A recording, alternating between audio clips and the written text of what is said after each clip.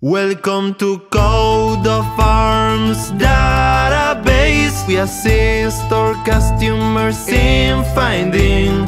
their family's Coat of arms and direct lineages A family-owned and small business Confine the history of your surname